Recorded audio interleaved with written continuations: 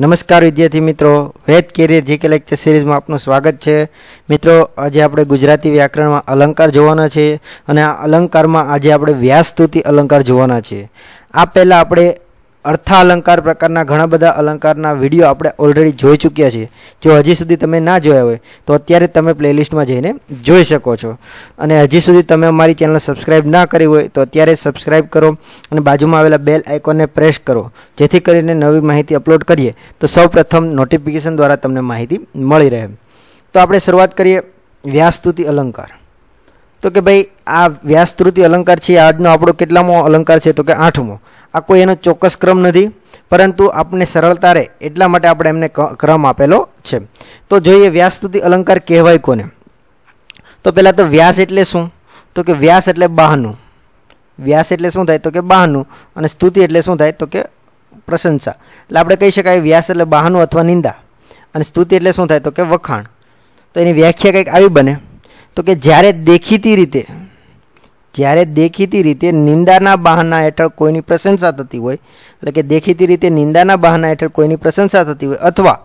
દેખીતી રીતે પ્રશંસાના બહાના હેઠળ કોઈની નિંદા થતી હોય ત્યારે વ્યાસસ્તુતિ અલંકાર બને છે ફરીથી એક વખત રિપીટ કરીએ તો કે જ્યારે આમ દેખીતી રીતના એવું લાગે કે કોઈની નિંદા થાય છે પરંતુ નિંદા પાછળ કોઈ એની શું થતી હોય પ્રશંસા થતી હોય અથવા તો કે કોઈની રીત દેખીતી રીતના એમ લાગે કે પ્રશંસા કરે છે પરંતુ પ્રશંસાના બદલામાં શું થતું હોય, એમની નિંદા થતી હોય, ત્યારે આપણો કયો અલંકાર બને છે? તો કે વ્યાસસ્તુતિ અલંકાર બને છે. અથવા આપણે એની બીજી વ્યાખ્યા આપીએ તો કઈ આ રીતના આપી શકાય? જ્યારે પ્રશંસા દ્વારા નિંદા, જ્યારે પ્રશંસા દ્વારા નિંદા કે નિંદા દ્વારા વખાણ કરવામાં આવે, ત્યારે વ્યાસસ્તુતિ અલંકાર બને છે. ફરીથી, જ્યારે પ્રશંસા દ્વારા નિંદા કે નિંદા દ્વારા વખાણ કરવામાં આવે, ત્યારે વ્યાસસ્તુતિ અલંકાર બને છે. એમનું ઉદાહરણ જોઈએ જેથી કરીને આપણે વધારે ખ્યાલ આવે તો એનું પહેલું ઉદાહરણ છે વાહ પહેલવાન વાહ પહેલવાન પાપડ તોડી નાખ્યો તો પહેલું વાક્ય જે પહેલું ચરણ છે એમાં એવું લાગે કે આપણે એની વખાણ કરી રહ્યા છે પરંતુ એની પાછળથી બીજા વાક્યમાં શું કરી રહ્યા છે નિંદા તો કે ભાઈ વાહ પહેલવાન પાપડ તોડી નાખ્યો એટલે આ રીતના દેખી રીતના દેખીતી રીતના વખાણ પણ પાછળથી એનું શું હોય તો કે એના નિંદા કરવામાં આવે એને શું કહેવાય વ્યાસસ્તુતિ અલંકાર કહેવાય આપણે એના વધારે એક્ઝામ્પલ જોઈએ જેથી કરીને આપણે ખ્યાલ આવે બીજું વાહ સી તમારી હિંમત વાહ સી તમારી હિંમત ઉંદર જોઈને નાઠ્યા વાહ સી તમારી હિંમત ઉંદર જોઈને નાઠ્યા તો નાઠ્યા અથવા ભાગી જવું અથવા દોડી જવું તો કે ભાઈ તમે ઉંદર જોઈને ભાગી ગયા. એટલે કે પહેલાં તમારા વાક્યમાં શું કરે છે? વખાણ કરે છે. અને બીજી વાક્યમાં એને શું કરે છે? નિંદા કરે છે. ત્રીજું જોઈએ. ધન્ય છે તમારી બહાદુરીને. ધન્ય છે તમારી બહાદુરીને. એક અબળાને મારી. એટલે કે પહેલા વાક્યમાં વખાણ કરે છે, બીજામાં શું કરે છે? તો કે નિંદા કરે છે. એટલે કે ધન્ય છે તમારી બહાદુરીને. પણ શું પાછળથી શું કહે છે? તો કે એક અબળાને મારી. અબળા એટલે કે જેનામાં બળ નથી તે. અબળાનો શબ્દ સમૂહ માટેનો એક શબ્દ અબળા છે. તેનો વાક શબ્દ શું થાય? તો કે જેનામાં બળ નથી તે. તેને શું કહેવાય? અબળા કહેવાય. અને જો મિત્રો, આપણે શબ્દ સમૂહના પણ ઘણા બધા ભાગ આપણે મૂકેલા છે. જો એ તમે પણ હજી સુધી ના જોયો તો અત્યારે તમે પ્લેલિસ્ટમાં જઈને જોઈ શકો છો. આપણે આગળ વધીએ. દોડવામાં હું સૌથી સૌથી પહેલો જ રહેતો. દોડવામાં હું સૌથી પહેલો જ રહેતો. પાછળથી ગણતા એટલે શું કહે છે કે હું દોડવામાં તો હંમેશા પહેલો જ રહેતો પણ પાછળથી ગણતા એટલે પાછળથી શું કરી દે છે નિંદા કરી દે છે એટલે આ રીતના આપણો કયો અલંકાર બને છે તો કે વ્યાસ્તુતિ અલંકાર બને છે પાંચમું અલ- અ, વાક્ય જોઈએ આ હોશિયાર વિદ્યાર્થી આ હોશિયાર વિદ્યાર્થી બીજા નંબરના સ્થાનનો કટ્ટર વેરી છે આ હોશિયાર વિદ્યાર્થી બીજા નંબરના સ્થાનનો કટ્ટર વેરી છે છઠ્ઠું જોઈએ તમે ખરા રમતવીર. તમે ખરા રમતવીર. ઉગતા બાવળ કૂદી ગયા. એટલે કે પહેલાં એના વખાણ કરે છે, પણ પછી પાછળથી શું કરી દે છે? નિંદા. એટલે કે તમે ખરા રમતવીર છો, પણ ઉગતા બાવળને કૂદી ગયા એમ. સાતમું જોઈએ. સૂર્યદેવ.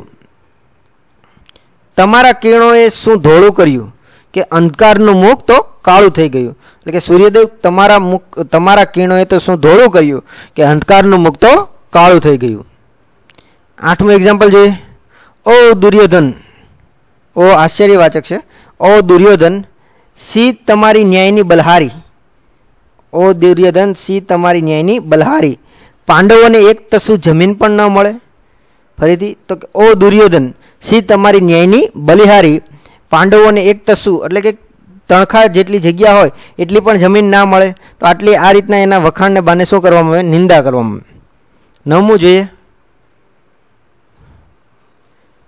ધન્ય છે તમારી જનેતાને એક્ઝામ્પલ શું છે તો કે ધન્ય છે તમારી જનેતાને અને એમાં શું કહે છે તો પાછળથી તો કે ભાઈ આવા પથરા પાક્યા પાછળથી શું કહે છે તો કે આવા પથરા પાક્યા એટલે કે પહેલાં વખાણ કરે છે શું ધન્ય છે તમારી જનેતાને અને પાછળથી શું કહે આવા પથરા પાક્યા તો એટલે આ રીતના નિંદા વખાણના બહાને શું કરે છે નિંદા કરે છે દસમું જોઈએ ગાંધીજી હિંસા અને અસત્યના કટ્ટર વેરી હતા ગાંધીજી હિંસા અને અસત્યના કટ્ટર વેરી હતા તો મિત્રો આ વાક્ય છે એ મોસ્ટ આઈએમપી છે ઘણી વખત પરીક્ષામાં અવારનવાર પરીક્ષામાં પૂછાઈ ગયેલું છે કે ભાઈ ગાંધીજી હિંસા અને અસત્યના કટ્ટર વેરી હતા આ વાક્ય છે એ કયા અલંકારનું છે તો આપણું કયું આવશે તો કે ભાઈ વ્યાસ સ્તુતિ અલંકારનું આવશે જે અવારનવાર પરીક્ષામાં પૂછાઈ ગયેલું એટલે આપણા માટે મોસ્ટ આઈએમપી બનશે અગિયારમું વાક્ય જોઈએ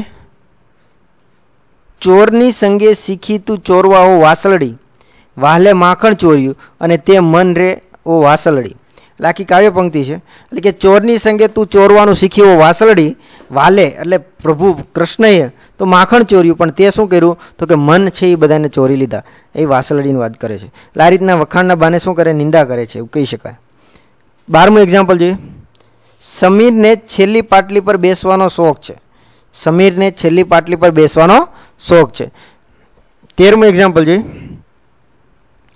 જાદવ સ્ત્રી તાળી દઈને હશે ધન્ય નગર આવો નર વસે કીધા હશે વ્રત તપ અપાર તે સ્ત્રી પામી હશે આ ભરથાર તો પહેલાં તો આ જાદવ સ્ત્રી તાળી દઈને હશે ધન્ય નગર આવો વર વસે કીધા હશે વ્રત તરફ આ વ્રત તપ અપાર તે સ્ત્રી પામી હશે આવો ભરથાર તો કે પહેલાં તો જાદવ સ્ત્રી એટલે આખી કાવ્ય પંક્તિ છે. અને આ છે કૃષ્ણ, એટલે સુદામ કૃષ્ણના પરમ મિત્ર એવા સુદામા, એને ઉદ્દેશીને આ પંક્તિ લેવામાં આવેલી છે. કે ભાઈ જાદવ સ્ત્રી એટલે કે કૃષ્ણની રાણીઓ છે. જ્યારે કૃષ્ણ છે એને એને સુદામાં મળવા જાય છે, ત્યારે કૃષ્ણની રાણીઓ છે.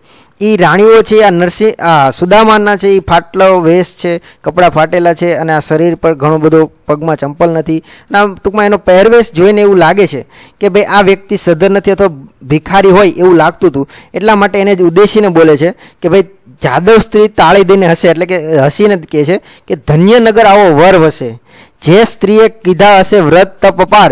તે સ્ત્રી પામી હશે આવો ભરથાર એટલે કે એનો પતિ પામી હશે એટલે આ રીતના સુદામાને ઉદ્દેશીને આ છે એ પંક્તિ લેવામાં આવેલી છે તો આમાં આપણે કયો બનશે તો કે વ્યાસસ્તુતિ અલંકાર બનશે અને આગળ પરીક્ષામાં પણ આ પંક્તિ છે એ પૂછાઈ ગયેલી છે એટલે આપણે યાદ રાખશું ચૌદમી એક્ઝામ્પલ જોઈએ સી તમારી ચાલાકી સી તમારી ચાલાકી કાકાનું ખિસ્સું કાપી આવ્યા ફરીથી સી તમારી ચાલાકી કાકાનું ખિસ્સું કાપી આવ્યા તો આ રીતના વખાણના બહાને શું કરે નિંદા કરે અને છેલ્લું એક્ઝામ્પલ જોઈએ પ્રખર વક્તાનું ભાષણ એવું જામ્યું પ્રખર વક્તાનું ભાષણ એવું જામ્યું કે પાંચ મિનિટમાં તો શ્રોતા અદૃશ્ય એટલે કે પહેલાં એનું શું કરે છે વખાણ કરે છે એટલે કે જે પ્રખર વક્તા હતા એનું ભાષણ છે એટલું બધું જામી ગયું કે ખાલી પાંચ મિનિટમાં તો શું થઈ ગયું આખા શ્રોતાઓ છે અદ્રશ્ય એટલે બધા આખો હોલ છે એ આખો કેવો થઈ ગયો ખાલી થઈ ગયો બધા શ્રોતાઓ જે સાંભળનાર હતા એ બધા કેવા થઈ ગયા જતા રહ્યા એટલે આ રીતના વખાણના બાને શું કરવામાં આવે નિંદા કરવામાં આવે તો કે વ્યાસસ્તુતિ અલંકાર એની વ્યાખ્યા ફરીથી એક વખત જોઈ લે તો કે જ્યારે વખાણના બાને નિંદા કરવામાં આવે એટલે કે દેખી રીતના વખાણ કરે પણ પાછળથી એનો ઉદ્દેશ્ય શું હોય તો કે નિંદા કરવાનો હોય તો ત્યારે આપણે કયો બને એટલે કે વખાણના બાને નિંદા કરવામાં આવે ત્યારે કયો અલંકાર બને છે? તો કે વ્યાસસ્તુતિ અલંકાર બને છે. તો મિત્રો, આ વિડીયોમાં આપણે આટલું રાખીશું. જો વીડિયો તમને ગમ્યો હોય તો લાઈક કરો, શેર કરો, જેથી તમારા મિત્રોને પણ આ માહિતી ઉપયોગી થઈ રહે. તો મિત્રો, આ વિડીયોમાં આપણે આટલું રાખીશું. જય હિન્દ, જય ભારત.